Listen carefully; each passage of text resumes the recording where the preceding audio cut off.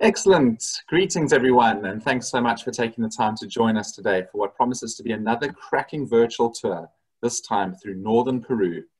Amazingly, tonight will be our 12th webinar. I just wanted to take this opportunity to thank all of you for your continued support of our webinars, our tour leaders, and Rockjumper as a whole. We love being able to showcase some of our world's most spectacular destinations and are grateful to all of you for signing up each week. All of your feedback is also sincerely appreciated. For those of you who know me, you'll probably recall that I enjoy the facts and figures, and so does Nikki in a big way. And today I just wanted to let all of you know that we have had just over 1,800 people sign up for at least one of our webinars over the past three months. None of us could have ever expected this amount of support, so a big thank you from all of us at Rockjumper. On to the webinar itself. As always, we love fielding your questions, so please feel free to ask away. We may not be able to answer every question live, but we'll do our level best. To ask a question, say hi or provide feedback, please use the Q&A box at the bottom of the screen or else the chat function. So joining Nikki and I today is Rob Williams, one of our most traveled and well-regarded tour leaders, and also one of Peru's most experienced birders. Some of you may be wondering why Rob is only talking about one part of the country and not the whole of Peru, as we usually discuss the country as a whole during these webinars. The reason really is that Peru has so many species and such a wide diversity that to cover the entire country in one go would be impossible. And to really get a good overview of all of Peru's species, one would need to do at least three different tours to the country. So Rob has had a lifelong interest in birds, which all started with one of his earliest memories when he watched a sparrowhawk kill, pluck, and eat a starling at the tender age of just four. Thereafter, he became completely obsessed with South America when he read a book about the Amazon. This was when he was just seven years old, and at that time also made the decision to go and work on the continent, which he's done for many, many years with multiple visits and also included an 11 year stint where he lived in Peru between 2003 and 2013. His first South American experience was in Ecuador, right down near the Peruvian border, while his first three visits to Peru were actually illegal as the border was closed, so he ended up swimming across the border river. Talk about commitment. During his time in Peru, Rob spent three years in the north of the country working to help a local community establish the Chaparri Reserve, and overseeing the white-winged guan reintroduction program there. He then spent eight years in Cusco, managing a large conservation program in the Andes and Amazon, including Manu National Park. Rob has, sorry, Rob has also written several books, with his latest being a book on hummingbirds that he is, he is still busy completing. Finally, given Rob's immense knowledge of Peru's birds and the volume of time he has spent exploring the country, he's racked up a seriously impressive country list with just over 1,700 species seen. To get to that sort of number, you have to be extremely focused and also have the will to venture to some very off the beaten track parts of the country. One such example is from a, a couple of years ago when he walked 117 kilometers to see the rare and seldom recorded yellow-browed toucanet, which occurs in largely inaccessible forests along the east slopes of the Andes in northern Peru. I really could go on and on, but I think it's time to hear from the man himself. So sit back, relax, and enjoy the virtual tour you're about to embark on. Rob, over to you. Great. Thank you very much indeed, Keith, for those very kind words. Um, and welcome, everybody. It's a real pleasure to be here uh, virtually talking to you about Northern Peru today. So the trip from northern Peru is a trip that goes right across the country from the Pacific to the heart of the Amazon basin really. And it's an amazing thing. So we'll we'll start off with a little bit of information about peru. Most people when they think about peru think about machu picchu. Uh, down in southern peru one of the new seven wonders of the world a world heritage site. Fantastic place to visit and a great place that you can add on to the southern peru trip but what the focus on Machu Picchu has done is that many people, especially conventional tourists, have ignored northern Peru for a long time. And from a birding point of view, it has an awful lot to offer. So here's a picture of um, the, the of South America, the western part of South America, showing mostly Peru. In the sort of sat, uh, the bottom center, you'll see a large lake. That's Lake Titicaca on the Bolivian border. But if you look up to the westernmost point, so the left-hand side of the screen, you'll see a whitish area of coastal desert. That's the Sechura Desert up in northern Peru. And you'll see the Andes going across to the right from there are very um, broken up, lots of ridges. It's a, a geologically, uh, it's known as a, an area of Cordilleran chaos. And that's one of the important things we're going to come back to on why Northern Peru is just such an amazing birding area. So, but thinking about the whole of Peru, it's a staggering 1,848 species. That's following the IOC taxonomy that RockJumper uses. At the bottom, you can see the comparative taxonomies for um, eBird, etc. And there's not a huge amount of difference, really. Um, of those 1,848, 128 endemics are endemic to the country, and there's another 126 that are very nearly endemic to the country, just creeping into na neighboring countries. So it really is a staggering number of birds. Um, just to give you an idea of how that pans out in some of the sort of more popular families, here are the numbers for some of those families. You can see, I mean, 243 flycatchers. That's a massive selling point for the country. 186 uh, tanagers, 128 hummingbirds, etc. Really incredible diversities in some of these very popular families. Peru also has an awful lot to offer in terms of archaeology and cultural interests. There's over 7,000 registered archaeological sites in the country. I've here selected pictures that represent birds from three different cultures from northern Peru, the Chachapoyas up at the top, left with a, this is in Gran Pajaten archaeological site, uh, from the Sican culture of gold and bird, and then a couple of bits of Mochica pottery. The bottom right one seeming to show a white-winged guan, and the bottom left an Andean condor. And you can combine the birding with a bit of culture as well, or add on some trips. It's really worth doing. Um, so now we're going to bring in ourselves into northern Peru. And of those 1,848 species we talked about, there's over 1,600 species available in northern Peru, including 59 Peru endemics and another 100 or 150 bird species there, which are restricted range. These may be shared with other countries as well, but they are global endemics, you know, the Tumbesian endemics, the Marañón Valley endemics and things. And so, you know, a staggering number of really special species up there. And there's similar endemism in other taxa as well. This is um, a, a, a satellite image, a Google Earth image actually, of the area of northern Peru that we cover on the tours. The white points show the main birding localities. And the tours basically work from the right-hand side near the town of Tarapoto. We cross over into this very green area going up into the eastern Andes. And then there's various ridges there we explore. We then go across to the top center, um, slightly left of center near the town of Jaén, which is the, um, the lower Marañón Valley. You can see that gray sort of gash running slightly diagonally down through the middle of the Andes. That's the Marañón Valley, a very important biogeographical divide and a habitat in its own right.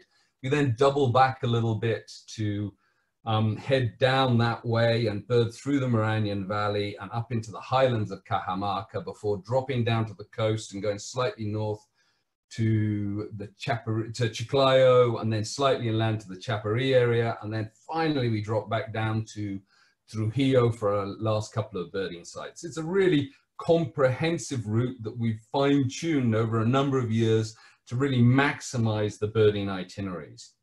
This is the road network laid on at that same kind of scale.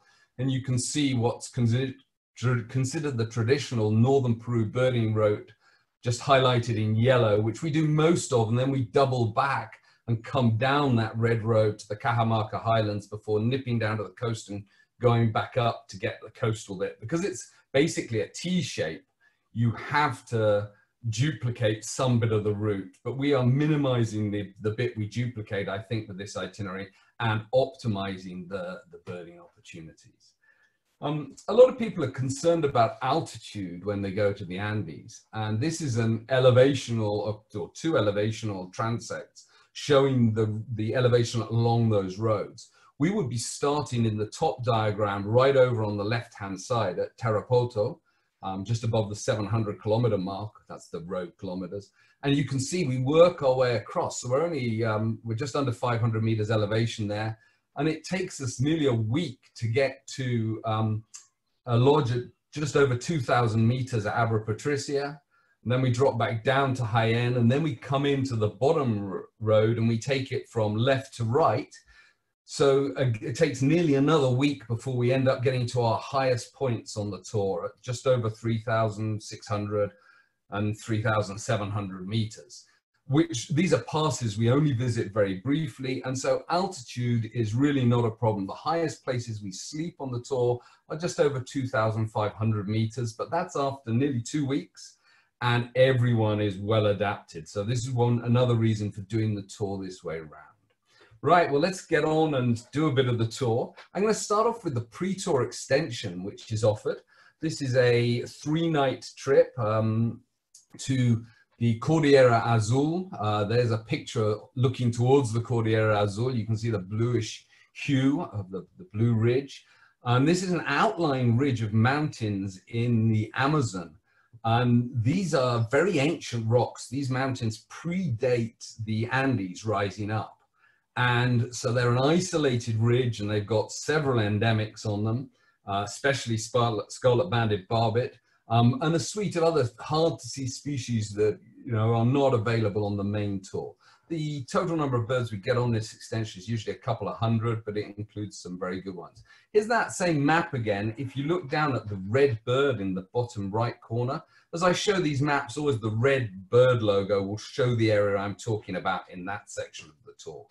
So we're heading down to the, the little village of Plataforma uh, in the Cordillera Azul.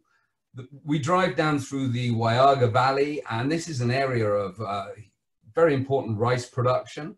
And we'll take some time to look at some of the water birds that occur in the rice field. Here's a photo with both white-backed on the left and black-necked stilt on the right. And you can see the, the difference is the one on the right, the black-necked is a juvenile and the white-backed an adult. I couldn't get two adults together, unfortunately. But a very different bird, you know, these previously been lumped, but I mean, just look at the thickness of the bill on the, the white-backed stilt. It's, it's nice to see a few white-backed stilts in amongst the common black-necked stilts there. We also look for crakes and rails, and it's a good area to try and find a tricky paint-billed crake. This is one that crossed in front of the vehicle last year uh, with a couple of chicks as we were heading up. And then as we come into the foothills of the Cordillera, we, we pick up some interesting birds. This is Mishana tyrannulet. And Mishana tyrannulet's a, a recently described species that only lives on weathered, nutrient deficient soils and these ancient rocks. So that's one of the indicators that these really are ancient sandstone ridges here. Um, we also pick up sought after birds like Amazonian umbrella bird can be found along there. Um, this is quite a, a, tricky trip though. I mean, it's it's a, a bit gung-ho, this extension. This is from the first time Rockjumper went up there in 2014. The road has improved since then, um, but you do need welly boots. It can be a bit muddy. It's very, it rains a lot up there. Uh, and we travel up in these uh, four-wheel drive pickups that have been massively raised up suspension. Uh, last year it was much, it was about half the time because they've improved the road way up into the mountains. I was very impressed how they improved them. But, you know, it is still going off the beaten track slightly. And we're, we're aiming for this little community here. You can see to the upper right, the little village of Plataforma um, which is an area that the forest is being fragmented as there's agriculture developing, there's coffee plantations, bananas, etc. But there's still good forest fragments, and we use that.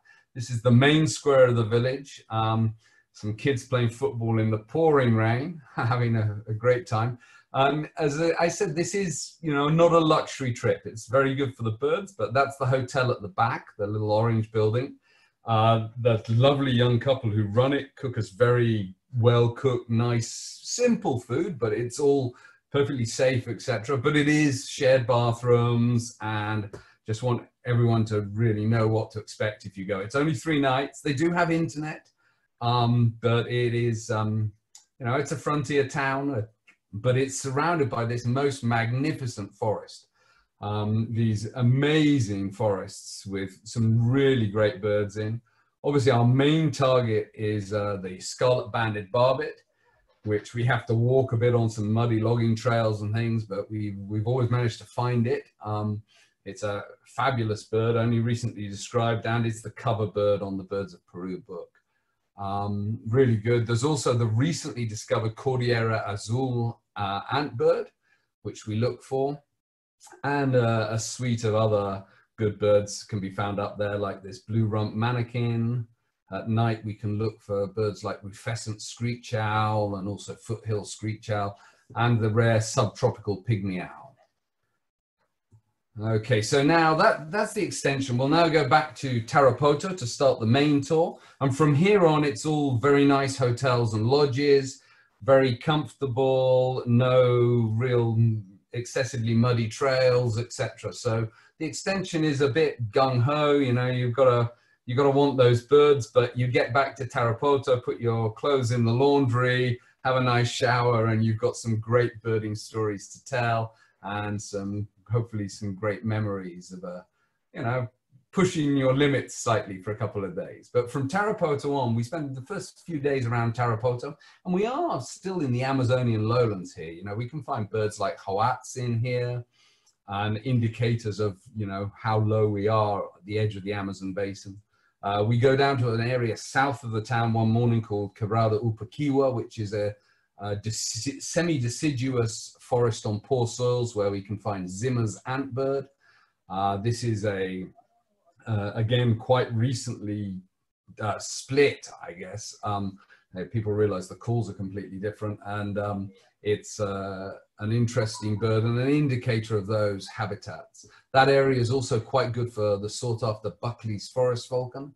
Can be a bit tricky to see like all forest falcons, but sometimes we get nice views like this. And it's also home to a critically endangered primate, the San Martin titi monkey. And so we have a morning down in this area getting some really nice birds. We spend a lot of time up on a, a ridge just above the town of Tarapoto called the Cerro Escalera. And it's the only place in Peru you can see Plumbeous euphonia. Again, this is another indication that this is an outlying ridge coming out of the Andes. It's a, it's a strange place because it's got more Andean species on it than perhaps Cordillera Azul, but it's also got these sort of isolated birds, etc. It's a very good place for the magnificent white plumed antbird, one of my personal favorites. Uh, it gives us our first chances of Andean cock of the rock, the local subspecies with the very pale blue eye. It looks whitish, but is actually very pale blue. And one of our big target birds in this area is Koepcke's hermit. Uh, this is a bird that's endemic to Peru, although it's found from southern Peru and Manu National Park, etc. It's, it's very patchily distributed up the eastern Andes of Peru, only found on these outlying ridges. Uh, quite a straight bill for a hermit and these lovely cinnamon tail tips to all but the central tail feathers there. While we're waiting for that bird, we often pick up Gould's jewel front, and just up the hill, there is a, a nice lek of golden-headed manakins we can go and see. And the, the it's a little reserve there, and the caretaker, sort of guard of the reserve, often knows where there might be a roosting owl or a roosting potoo. Uh, quite often he knows where there's a long-tailed potoo, which is one of the, the more difficult potoos to see. Um, we sometimes get lucky with one at the roost there. We then leave the area of Tarapoto behind and head slightly further to the west and slightly further up. On the route, we make a stop uh, at a little roadside canyon to look for oil birds. And there's a, a easily accessible, you, are standing right on the edge of the road, looking over this bridge down into the canyon and there's oil birds on these ledges. It's, it's quite fantastic. So we moved up to the town of Moyobamba now. Uh, this is in the, the Mayo River Valley. Mayo means river in Quechua, so it's the, it's the Rio Mayo, which means the river river. But uh, it's a very interesting geological area. It's a kind of, it's a microcosm of the Amazon basin, basically elevated up to about 900 meters elevation. Uh, with patches of really weathered pores, white sand soils, uh, ancient volcanic, granitic volcanic domes sticking up out of them, and steep surrounding hillsides um, which offers a staggering number of habitats and birds.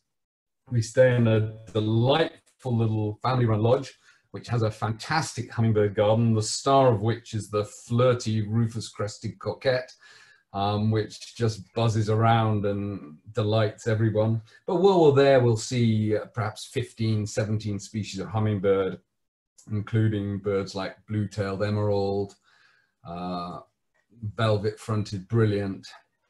One day we'll head up to some rice fields for a bit and we'll bird an area of wetlands, uh, tiny remnant areas of wetlands in the rice fields for so widespread but sought after birds like blackish rail. Uh, the masked duck is often a popular one. The rare black-billed seed finch and um, the highly desired black-capped Donacobius. So those are all in these remnant wetlands. The rice fields itself are, are very good areas for other birds and we'll keep an eye out for spotted rail. We can see this at several places on the tour, but it is one of the more important birds to try and pick up on. And uh, we found this one a couple of years ago, sunning on the edge of the uh, some rice fields there. This is an area that has also got several species of owls we're going to try and find, uh, including Stygian owl, which is a, a very good bird. We'll look for this hopefully in a day roost. If not, we might have to try and look for it at dusk because it comes out of its day roost and displays sometimes. Or as a last resort after dinner, we sometimes head into town and look for uh, the birds. They sit on uh, radio antennas above the fire station and things and hunt bats, which can be quite fun. While we're looking for this, we may pick up some other good owls like black banded owl, and um, with a little walk above the lodge, we may be able to find the foothill screech owl. This used to be considered, it's also been called Napo screech owl and was once part of the vermiculated screech owl complex. So heading on, leaving the lower Mayo Valley, we're heading on to uh, an area called Abra Patricia. And the Abra Patricia area is the birding mecca of northern Peru. It's the most diverse area. It's where it's that it's basically these forests that you can see on the map there, a large area of forest that are the protecting the headwaters of the Mayo Valley, which is a very important rice producing area. So these are now protected to protect the source of that. And so it gives us a gradient of forest from about 800 meters up to uh, over 2,000 meters of continuous forest on the extreme northern end of the eastern Andes, the east slope of them. Um, right at the bottom of it, there is a, an area, a, a, lovely little reserve run by a, a, a, delightful local man has set it up. And it's called the, the Arena Blanca, the White Sand Reserve. And it's, he set up this ingenious feeding system uh, with uh, some birds on it, with several birds that come to it, including rufous-breasted wood quail, which is normally a really hard bird to see, but from his little blind you can see that. Uh, little tinamou can be seen here, Cinereous tinamou. He also has a, a nice hummingbird garden, which is one of the best places um, to see wire-crested thorntail, a fantastic hummingbird. But moving on from here, the area we've really come here for is this amazing forested area along the North Amazonian uh, road. And the, the road here, nice asphalt road that will travel up and down, uh, not too transited by traffic, fortunately, um, provides access to the complete range of habitats between uh, sort of 900 meters and 2,200 meters and we'll spend several days burning our way up here, um, trying to pick up mixed flocks in the different altitudes, etc. And one of these, here I put up a paradise tanager to represent these mixed flocks.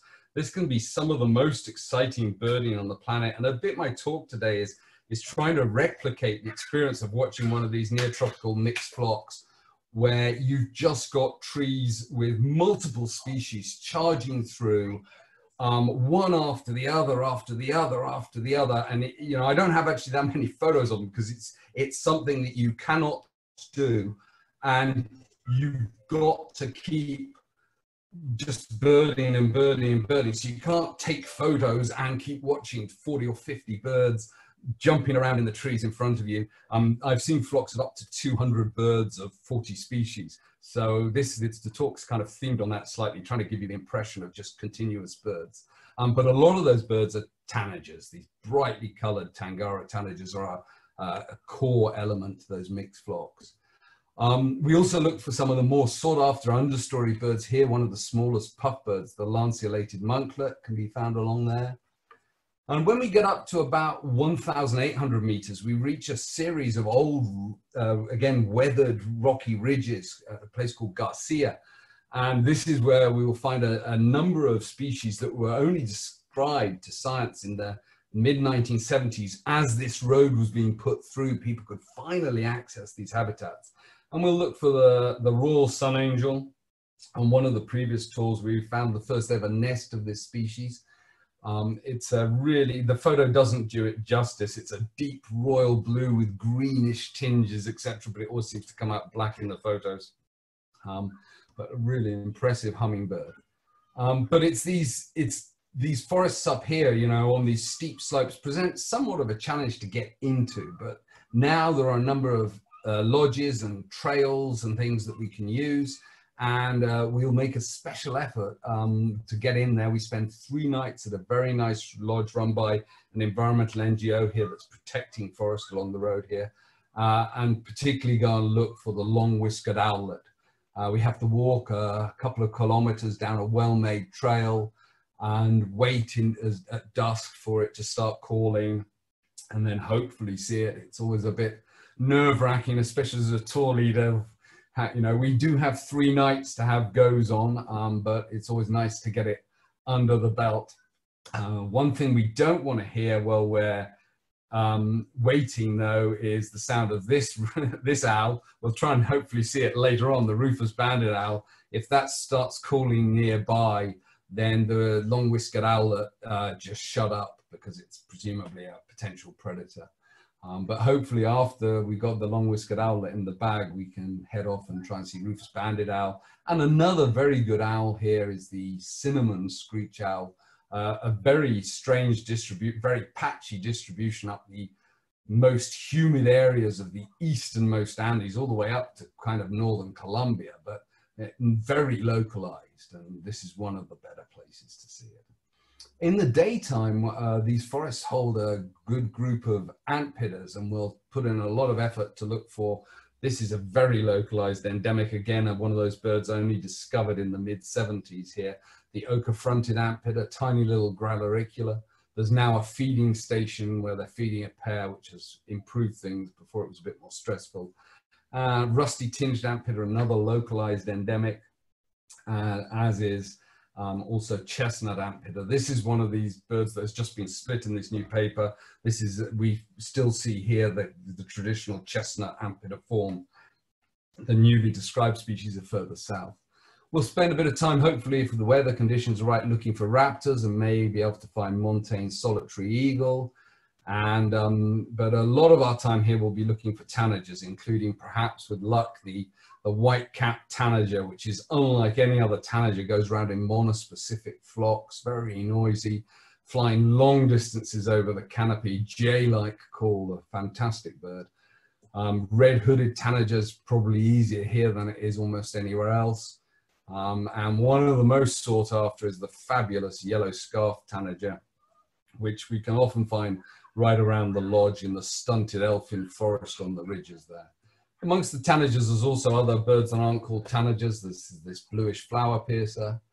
Um, but we won't forget the understory. We will make a special effort to try and find the bar-winged wood wren, another bird only described in the 70s, and confined to very stunted, very dense, scrubby forest um, on very poor soils, on white sand soils. It's a very strange bird um, constantly moving. Um, Thomas did very well to get this photo Um, and uh, in the bamboo areas, we'll look for Lulu's or Johnson's tody tyrant, another very restricted range endemic. The hummingbirds here are fantastic, as well as Royal Sun We've got green-fronted lancebill, for example. Uh, here, a long-tailed sylph of the local subspecies is having a discussion about cloud forest politics with a uh, buff-thighed puffleg. Um, chestnut-breasted coronet is common at the feeders around the lodge, as is white-bellied woodstar trying to slip in uh, unnoticed by the others. It's also a great spot, uh, our first chance on the tour to pick up uh, the sword-billed hummingbird. Here a female with a little white ear spot as well, and the more sort of speckled underneath and bronzy Inca, here one carrying a big load of pollen. Um, other cloud forest birds like trogons are around and we, we get really a staggering list in our, our four days birding this area, which, you know, whatever, uh, however many days you've got, it never seems quite enough, but usually we manage to get most of the things we're looking for. We're then going to jump a little further east again to near the, the town of Poma, uh, Florida, Pomacochas, by a lake called Pomacochas. We're now into uh, the next ridge over of mountains called the Cordillera de Colan. Uh, by the lake, we'll look for puna snipe. Uh, apparently, it's an undescribed subspecies here, um, but we usually manage to find some of those. And then the next morning, we'll take perhaps the the sort of toughest walk of the tour is up a, onto the San Lorenzo Ridge, up a, a trail covered in wooden, uh, uh, stone steps that have been built by the local community to get a bit higher in altitude to look for the pale-billed antpitta. This is one of the world's largest antpittas. Um, this is the only easily accessible site to see it. And it's, it's, a, it's a challenging walk, but you know, we take our time to do it, see some other birds along the way and and people, you know, everyone who has ever really tried to do it with me has always made it. And um, we usually get the bird, with the exception of last year when unfortunately it was absolutely pouring with rain and we had to take herd only. Um, then we drop down and right around our, our lodge where we're staying here is um, the best place to look for one of the most sought after birds in northern Peru, the fabulous, marvelous spatuletail, only the only hummingbird in the world with four tail feathers and these fantastic large spatules. This tour is timed carefully to get there when the spatuletails males should have grown the tail feathers again. Some other tours go earlier in the year, but there's a good chance you would not see a male with a full tail. And so we've chosen the date. We get a slightly more rain perhaps, but we do get to see hopefully a spatuletail with a, a good tail rather than one with a half grown one because it is a totally spectacular bird. So there are also a lot of other Andean birds around this area like this sickle-winged one. From there we jump on on a few hours across to the town of Jaén at the lower Marañón Valley and we do a one night stop here just to get some special birds. The first bird we usually stop for as we're arriving at sort of lunchtime is the little Inca finch. This is the first of the five Inca finches we'll look for. It's one of the shyer ones. It's quite tricky to see. It always seems to find a branch between it and you. Um, uh, but we usually get it. We make sure we look for it as one of our first stops. While we're looking for it, we usually pick up spot-throated hummingbird, which is another endemic. Uh, then in the afternoon and the following morning, we'll look out some of the other special birds around here, including the fabulous Marañon crescent chest. Um, this is also a good area for yellow-cheeked Becard or greenback Becard. It's a more widely distributed bird, but um, this is one of the better areas to see this bird that can be quite scarce in other areas. Um, we should get our first buff-bellied tanagers here, another Marañon endemic. We will see more of these, but we get the first ones here. Likewise with our first Marañon thrushes of the trip.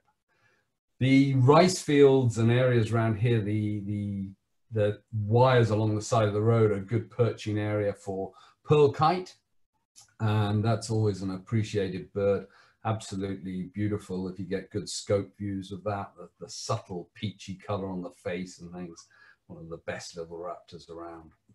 So then we backtrack slightly to the town of Pedro Ruiz and drop south into the Utcubamba Valley. This is a, a side valley off the Marañon Valley. So it's got some of those Marañon endemics, but it also offers us a chance to get slightly higher up into some slightly different cloud forest and things.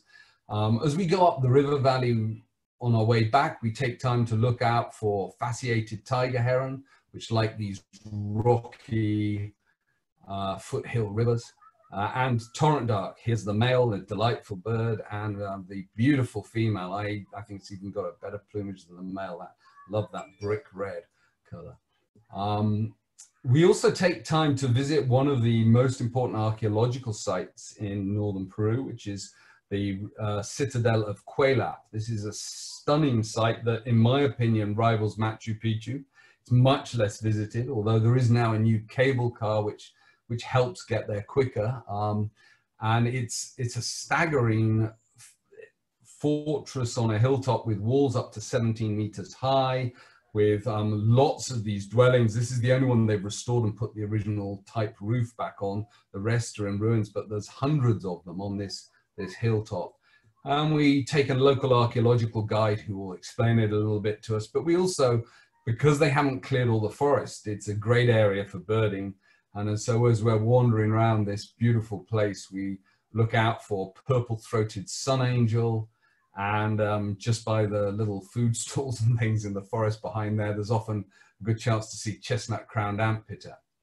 Dropping down to our little lodge, uh, family-run lodge in the valley below, there's quite often Koepcke screech owl roosting in one of the exotic pine trees in the garden, or if we don't find it there, then we wait for dusk and hopefully find one hunting along the sort of more natural habitats around. Um, we then head on up the valley a little bit and a little bit higher, a little bit more humid to the town of Leymebamba, which is our first real sort of Andean feel town.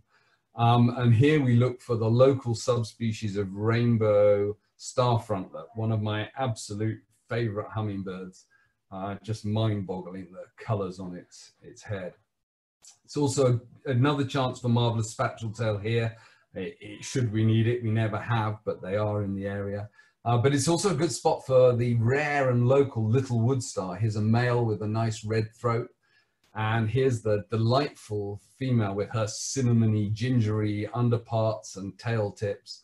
This is an absolutely tiny hummingbird, uh, only just bigger than the bee hummingbird from Cuba, probably the smallest um, hummingbird, I think, by weight in South America. Tiny little thing.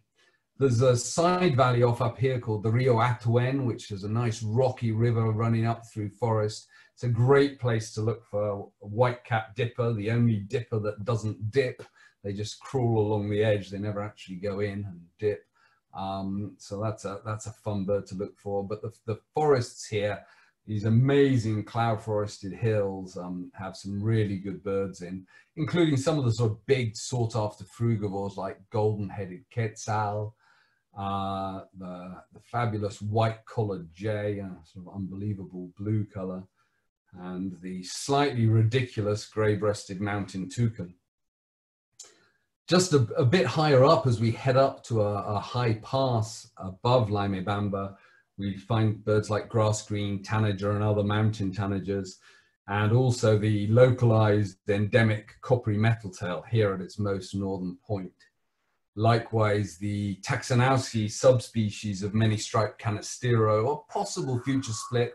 This is only found this side of the, so to the east of the Marañon Valley and is, um, is quite localized, but this is a good spot to find it.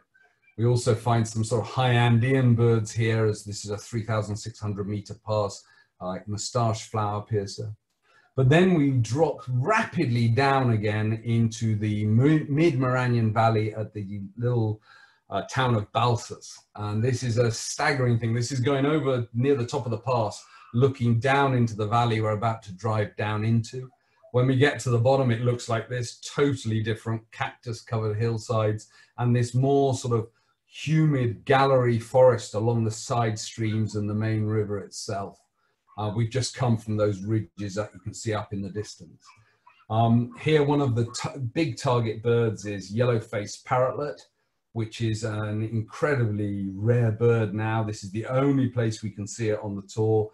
Its range is restricting as Pacific parrotlet expands its range, which is um, doing well because of agriculture further down the Marañón Valley. But here in the Mood Marañón Valley, it, the yellow-faced parrot's holding on and we make a special effort to seek this out. Uh, we also look for our second and third Inca finches, the fabulous buff bridled Inca finch, which is my personal favorite with that lovely little moustachial stripe. And this is one of the most confiding of the Inca finches. We can often get uh, good views just where we normally have our picnic lunch. Uh, then heading on up a bit more, we look for grey-winged Inca finch, uh, which is slightly more challenging, especially given the time of day we usually get there. But with persistence, we usually manage to find one, giving its weird little high-pitched call, and which is kind of hard to track down, but eventually we, we find one. Uh, we also find here black-necked woodpecker. This is really a flicker, but it's um, called black-necked woodpecker, which is endemic to Peru and uh, reasonably common in this area. And as we get up to the higher higher elevations, more montane scrub, we're going to seek out Jelski's chat tyrant, which is a delightful little bird, very uh, patchy little range, small range. So this is probably where 99% of the birders on the planet have seen Jelski's chat tyrant is the area we're going to look. You know, if you don't see it there, it's going to be tricky anywhere else. Uh, we also find here the large Baron's form of line-cheek spinetail. This has been split at some point, but it's a complicated clinal variation, um, but it is an impressive spinetail um, to see in the same area. Here we'll start getting our first Pacific pygmy owls in this area, and we'll be using imitations of their call and some tape of their call perhaps to, to try and get some of the other birds a bit, bit excited.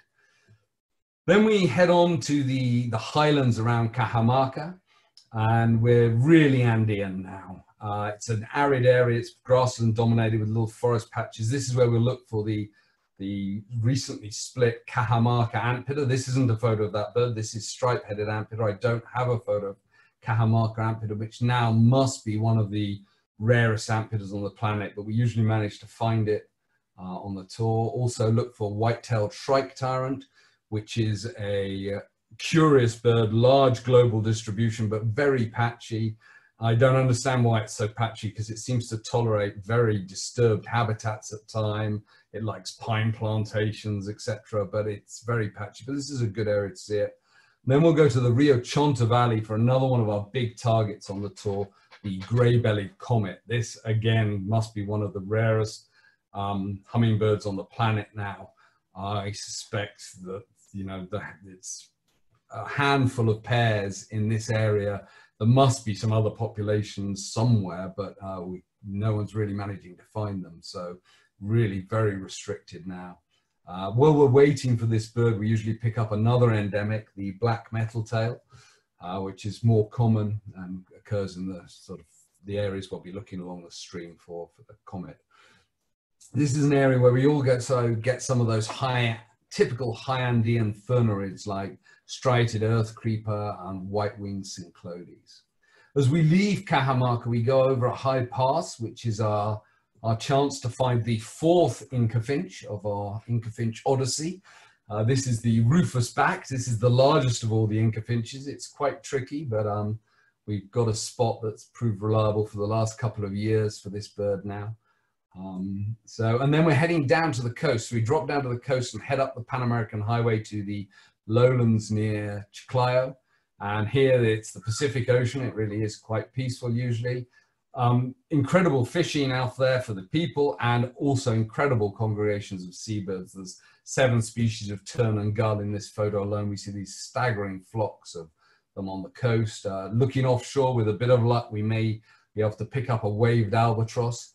Uh, if we're lucky. It's useful to have scopes for that. Um, we'll also see lots of Peruvian boobies and look for a few blue-footed boobies here because we've got the, this is, we're just south of where the cold Humboldt current meets the, the warm Panamanian current waters. And so you get both species. We'll try and find the Peruvian tern, though this is a rare bird now and it's, it's always tricky along the coast here. Well, it's tricky everywhere actually. Um, and we should find some of the sort of more southern seabirds of this current, like the Belcher's or band-tailed gull. One of the most common birds here will be the impressive Peruvian pelican. Uh, we should see hundreds going past offshore. Um, inland, we get this very arid coastal desert, uh, coastal miner, one of the more common birds here, almost pipit-like, uh, with lesser nighthawk here with a, a, couple of days old chick poking out from under its wing. And the with, with luck, this is a tricky one, but with luck, we pick up some tawny-throated dotterel of the pallidus subspecies. Um, interesting, they've all got black feet, as do the nominate subspecies, which is not shown in any of the field guides really until recently. They all painted them always with pink feet. Um, also, least seed snipe here, uh, difficult some years, um, more common other years. Uh, you know, it's one we make an, an, effort to search for, but it's not guaranteed. Um, and we also find the smallest and shortest billed subspecies of oasis hummingbird, the Kepki, Kepkii, um, up here, and Peruvian pipit, which is uh, a recent split from yellowish pipit. Uh, loves the areas just inland from the beach where you've got sort of saline grasslands. We'll also make a special effort to try and find some Peruvian thick-knee. This is the regional bird of Lambayeque, this area, and a good area to look for them. This is an area that had incredibly rich cultural history. This is um, adobe pyramids at Túcume. You can see they're absolutely massive. Um, these are 700 or so years old, so they've eroded away with multiple rains and El Nino years, etc. But it really is quite fascinating culturally. And around those, we'll look in this groundwater fed uh, mesquite forest, which we're going to look for a couple of special birds, including the Peruvian plant cutter, which is really endangered now. To my, in my mind, it's one of the most threatened birds in Peru, and um, also the rufous flycatcher. We then jump inland a little bit more to the area around the Chaparri Ecological Reserve. This is Chaparri Mountain. It was considered very uh, sacred by the Mochica culture um, an impressive mountain. And the lodge is uh, built just below the mountain. I think it's a fantastic lodge because I partially designed it and helped set it up. So, um, but it's a very comfortable place. We have a local guide from the community. This is Tomas with this group. It's one of a number of young, keen local birders who really know where everything is. And this is the important habitat here, is this little strip of permanent green in a very arid landscape. Outside of reserves, these are almost always full of people, dogs, cattle, etc. And so there's very few of these low riverine strips protected. And this is home to the, the globally threatened white-winged guan. The reserve now, this year's survey showed 99 individuals living in the reserve. Um, and so it's really quite a common bird there now because it's fully protected and, and thriving. We keep an eye on the sky for Andean condors, which breed on the mountain and can be seen cruising over with a bit of luck. Here we'll try and pick up, we'll find a lot of um, Tumbesian endemics, including Tumbes hummingbird, the fantastic Tumbes tyrant, which depends on ungrazed understory. So it's quite difficult to see outside this and a couple of other reserve areas now.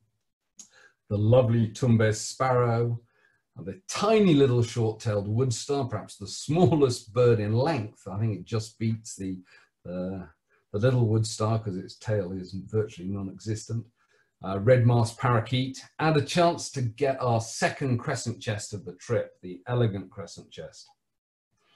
Uh, Baird's flycatcher, a classic sound of the dry forests here, lovely dusk song we hear. Uh, tawny crowned, or as a recent split has proposed, that this would be tawny fronted pygmy tyrant. Uh, the white-headed brush finch is here and some more widespread species, but of endemic subspecies. This is an undescribed subspecies of striped owl uh, with orange eyes. All the other subspecies have dark eyes. Uh, Pacific uh, hornero, which was split from pale-legged hornero. Um, one morning we'll go with our coffee and look at the hummingbirds bathing in the nearby stream and we should see lots of uh, purple-collared wood stars. The, the feeders at the lodge provide great photo opportunities for things like white-tailed jay and collared antshrike, um, maybe even streak-headed woodcreeper. The, there's a, the, the more arid plains are home. It's one of the, the most reliable sites now for looking for sulfur-throated finch.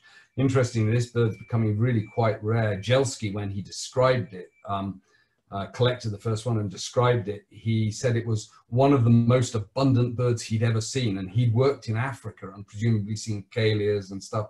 So this must be a really common bird. It's a colonial nesting, underground nesting finch. Um, very strange bird. Uh, probably deserves to be in its own monotypic genus, actually. The area also has some good mammal opportunities, the endemic Sechuran fox, and one of the best places now to see Andean bear. Nearby, there's a large man-made reservoir called Tinajones, uh, where we look for comb duck, a small relict, bizarre population of black-faced ibis. The ecology is different, the call slightly different, isolated on its own. It's non-migratory, um, probably deserves to be a different subspecies, but it's not described as anything yet. Raptors like savannah hawk around here and the delightful little many-colored rush tyrant can be found near the reeds in the, the around the reservoir here. Um, this is, a, I love the Spanish name of this, is the seven colors of the reeds, the siete colores de Totora. Um, then we head up onto the west slope, a little bit higher elevation, up to a nearby village called Casupe. We'll head up one more early one morning and have a, a field breakfast. Um, and while we're eating our breakfast, often there's Ecuadorian trogon calling. And we'll look for a suite of other birds, um, Tumbesian birds, one of my all-time favorite birds, Chapman's antshrike, just such a beautiful marked bird. Um, again, shared with Ecuador, but confined to these sort of ridge areas of slightly more humid forest within the dry forest area and quite localized. Um, Ecuadorian piculet can be found up here, as can the recently described uh, or recently split from great-eared hermit, the Porcuya hermit. Um, there's a couple of leks up there that we can visit. Uh, three-banded warbler is an endemic uh, restricted range species that uh, dominates the, the, the, sort of arboreal flocks here, and uh, grey and gold warbler is an understory warbler. So then we make a, a longish drive, but down the Pan American Highway, so it's a pretty good drive, down to the area of Trujillo. Just as we're arriving uh, we make a stop on a, a, isolated hill about 40 kilometers north of town, which is the northernmost point where you can find the endemic cactus canastero, and where we try to get our fifth uh, Inca finch of the trip for the cleanup of the endemic genus Incaspiza, and this is great Inca finch. Um, so then the next morning we make an early start and head up to into the western Andes again to look for to a town called Sinsicap. It used to be a real odyssey of a trip up a terrible road, but fortunately they have now asphalted the road and it is much easier. And so we nip up there and have a field breakfast while watching birds like pied-crested tit tyrant. Uh, there's been quite a lot of discussion over the years of Sinsicap hummingbird. This is it. It is just a speckled hummingbird, but it is a, a very large pale one and undescribed subspecies. Um, we'll also hopefully see bay crown brushfinch, another Tumbesian endemic brushfinch. Uh, the very localized unicolored tapaculo is quite common here. But one of our main target birds here is the fabulous russet-bellied spinetail. This is known from a few sites on in really quite remote sites in the western Andes of Peru, endemic. It was one of the last birds in northern Peru that I managed to eventually get there to see because it was such an odyssey of a trip before they put the fixed the road properly. Um, and then also Piura chat tyrant is another endemic that we'll look for in that area. So just to give you an idea, that's the end of the tour. Um, it's been a bit of a whistle stop. We finish up with a lovely lunch before our flight back to Lima, right on the coast, uh, watching gulls and terns, etc. Um, but these are the totals we've had in the years Rockjumper has been running this tour. We've gone adjusting the itinerary, trying to sort of improve it as we go along. Um, and you can see we're now getting over 700 birds seen on the tours in the last couple of years, which is a staggering number, including good numbers of endemics and near endemics in amongst those. Um, so it really is a staggering number. This is the total numbers of for example, 16 rails on the list over those shores, 126 tonnage, 151 flycatchers. I told you the flycatchers would be a seller. Um, so that's the main tour. I'd just like to take a moment to talk about, uh, Keith mentioned it in the introduction, yellow-browed toucanet. Um, I walked a long way to see this bird. It is not a bird that will ever be offered by any tour company on a regular tour. There is no road going into its world range.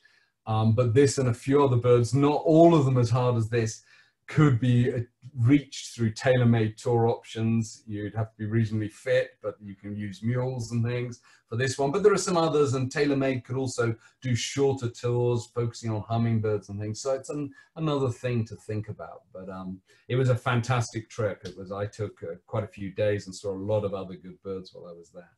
So um, yeah, I'd just like to thank you all for listening. Thank the photographers Thomas, Heinz and Heinz for sharing a few photos where I needed, didn't have species. And I hope to see you in Northern Peru soon.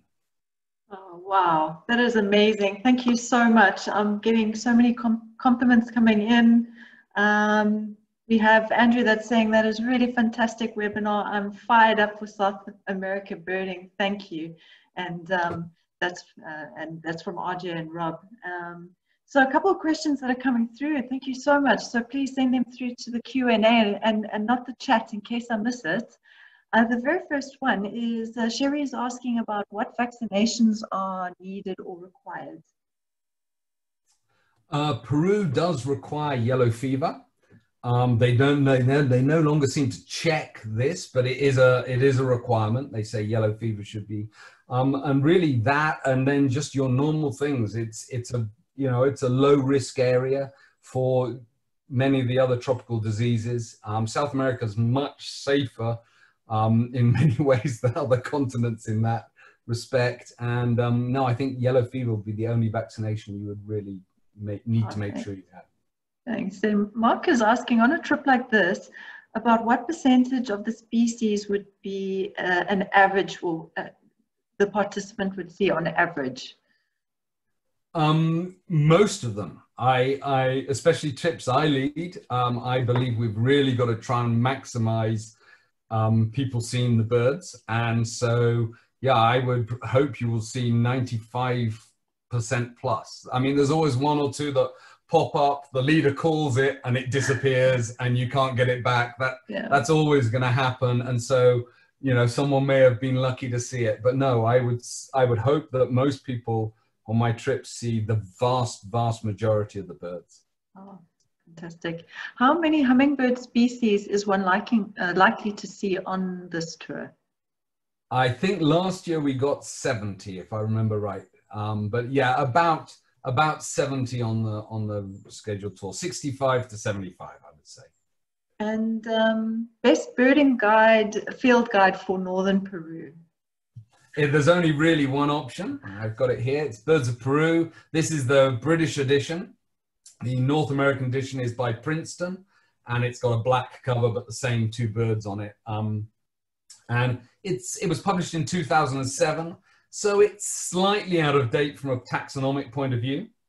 There is an app version available that is more up to date from taxonomic point of view, but when they get a split, they tend to remove the illustration and just have the name and a little text description, etc., because they don't know which one it is. So um, there are rumors of a new app coming, which could be could be even better. But I, I personally really like this book. It was um, pioneering and is still very relevant.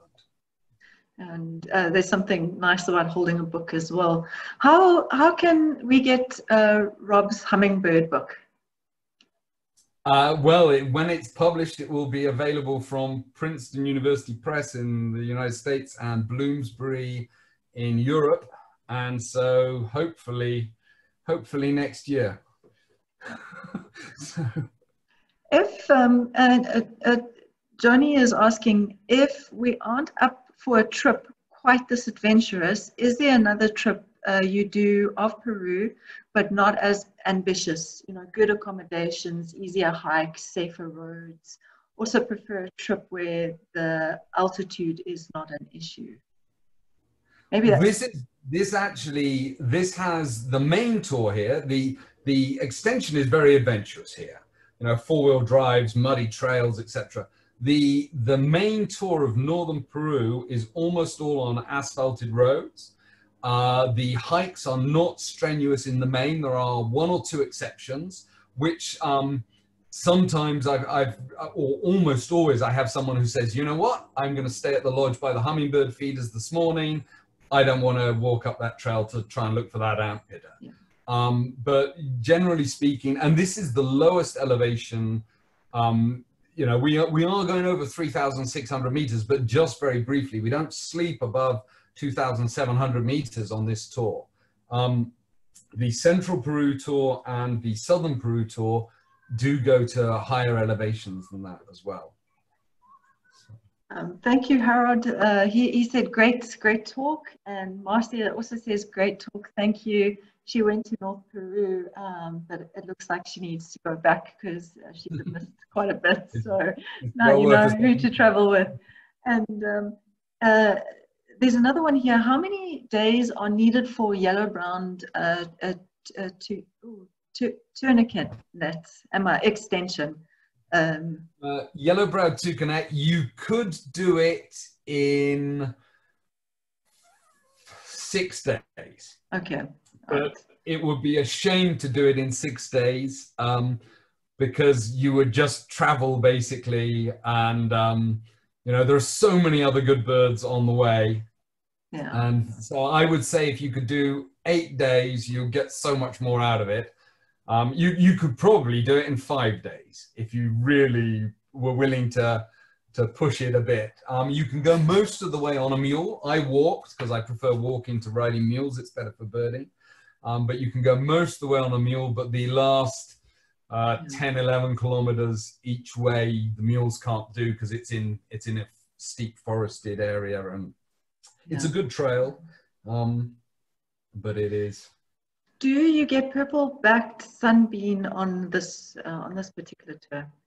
We don't do it on this particular tour. It could easily be added as an extension from trujillo um, which is where the tour ends. So you could easily stay there and you could drive the next morning up to the Purpleback Sunbeam place. The road again has just been fixed. It's probably, I've not done it in a day, but I, yes, you must be able to do it in a day, a longish day trip um, from Trujillo uh, because it's asphalted road the whole way to, to the site now.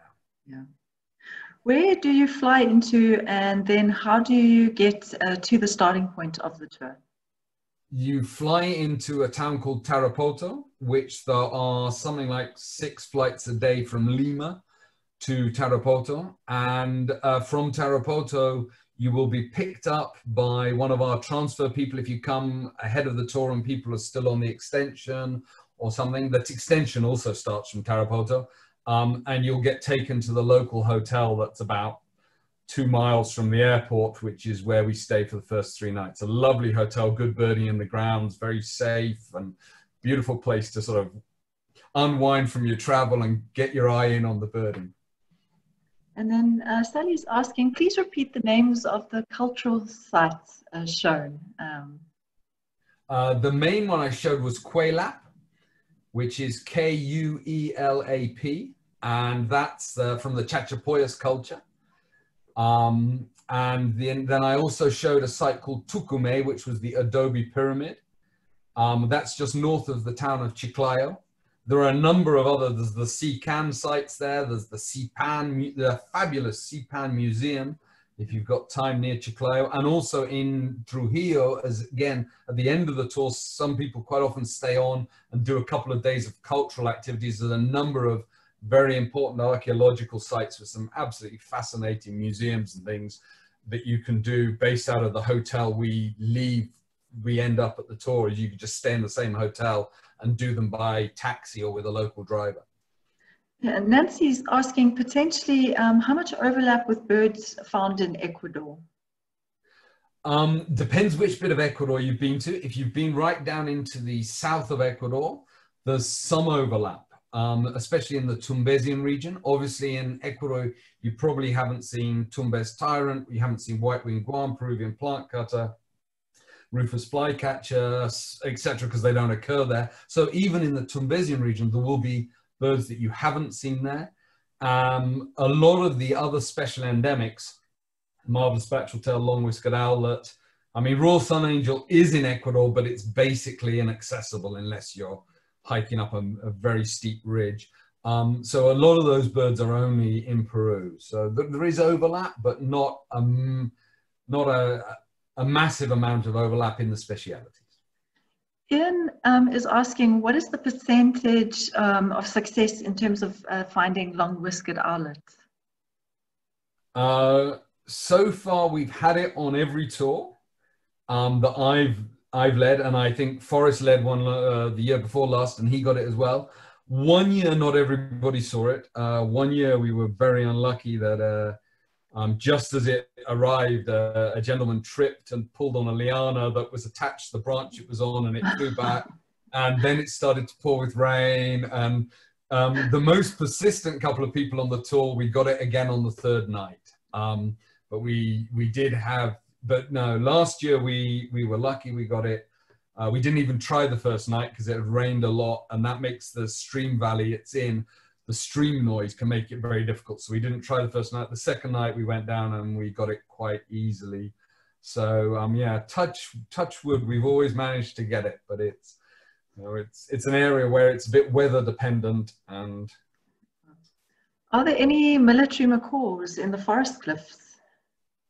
There are military macaws um, near the very near to where we go but they're not something we generally see. Um, I know of a place you can go about 30 kilometers off the route to see them, but it's quite a rough road. So it would take an hour and a bit each way, and we'd have to be there for dawn or dusk, and because they come into roost there. I mean, we could just bump into them, but um, we there are so many special birds. I mean, military macaw is a great bird, but it's it's available in other places that um, but no, we we don't usually. I think we've heard it one. No, that was that was before I worked for Rockjumper or the private group.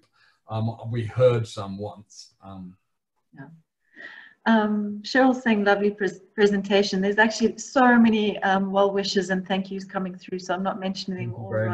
Um, there is. Um, she says, how many people are needed for a custom tailor-made uh, trip? Um, well, that's actually very easy because we sometimes have one person to massive groups. So it really is dependent on you and um, who you want to travel with, or if you just want to travel alone, uh, we can arrange anything. So Cheryl, um, you know, it's really open to to that, and we can discuss that with you. Um, after seeing all these, uh, Jerry's saying, "Oh, thank you so much." After seeing all these webinars, this is was far by far the best presentation. He loved your maps. Uh, it was short and concise. Thank you so much. How many people on uh, per, per trip? Uh, uh, it's a it's a group of eight clients at the moment. Um, for the well, for the last ones we've run, it has been eight.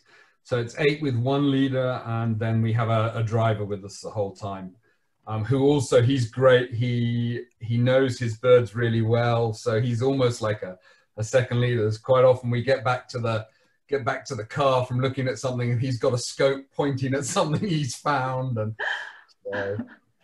what time of year is uh, is this tour generally run this tour's run in early october now as i said the the timing has been set to be before the, the before the wet season but also late enough that the marvelous spatuletails have have grown their tail feathers again. Because you, you can do it, the weather's probably better in July and August, but the marvelous spatuletails, all the males have shed their tail feathers, then you may find a late one that's got one in or one that's grown a bit earlier. But to be sure of seeing a good marvelous spatuletail, late September onwards, basically.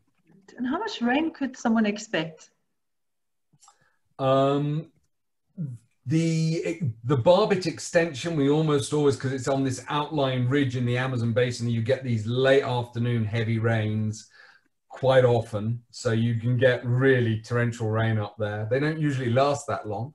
Um, uh, on the main tour we will almost certainly get some rain but we would be unlucky to get rain that really ruined birding.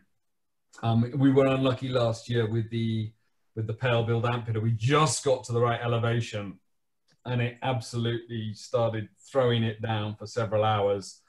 And we waited up there under our umbrellas for it to stop and it just clearly wasn't going to. But that was, that was unlucky, you know, um, but we will almost certainly get some rain somewhere, but it's not going to be daily uh, in the tour. Quite often at Abra Patricia, you get late afternoon rains as well. And we sit in the, the lodge and watch the hummingbird feeders and have a cup of coffee and that, that was one of the questions was, is there hummingbird feeders at the lodges? So yeah. there are multiple hummingbird feeders that we will go to. I can think of one, two, three, four, five, six, at least six sets of hummingbird feeders that we will visit on the tour. Oh, fantastic.